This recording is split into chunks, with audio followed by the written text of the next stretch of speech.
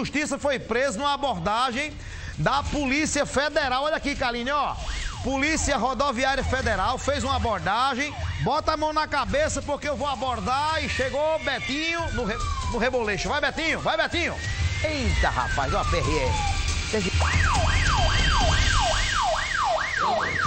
Berlim, manhã de terça-feira, a gente aqui na Central de Polícia e a, uma equipe da PRF, Polícia Rodoviária Federal, estava realizando um patrulhamento na BR-230 e no quilômetro 11, acabou abordando um veículo, dirigindo este homem que está chorando bastante, inclusive aqui na Central de Flagrantes. A equipe está aqui, um dos policiais rodoviários federais está aqui na Central de Flagrantes, já apresentando ele aqui na delegacia.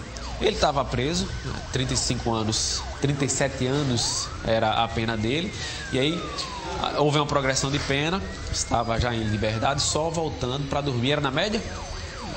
Voltando para dormir na média, aí o que aconteceu? Ele não, ele não voltou mais para dormir, estava trabalhando, alternativo, com esse veículo que foi abordado hoje. Como é que foi essa situação? Você, quanto tempo, no início, você realizou um assalto, não foi isso? Foi um tempo atrás aí eu fui, fui condenado por uma situação que eu fiz, mas passei sete anos preso, saí. Sete anos fechado. Sete anos fechado. Saí e, estava cumprindo, mas só que não voltei para dormir porque aconteceu fatos que não dava para estar tá lá. Aí acabei foragindo. E quando foi hoje, fui abordado pela PRF. Quanto tempo já que já, já tinha deixado de dormir lá?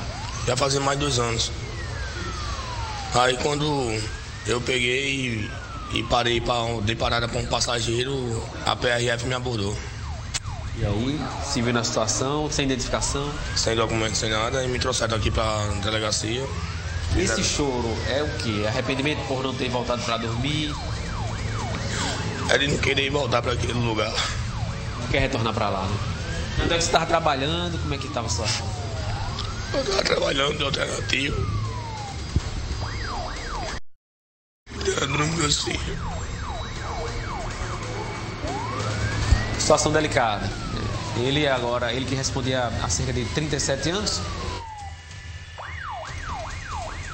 Ó, já de volta com o Betinho ali. No finalzinho a gente perdeu contato com o Betinho Nascimento, mas deu para entender a essência do negócio aí, tá?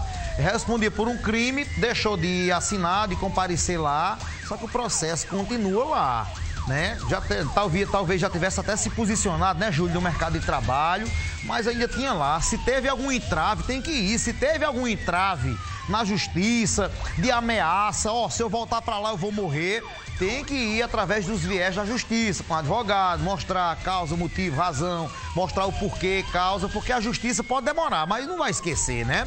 É tanto que daqui a pouco tem um caso também lá do Vieira Diniz e do Dilmão, já já. Beijo pro Vieira Diniz e pro Dilmão.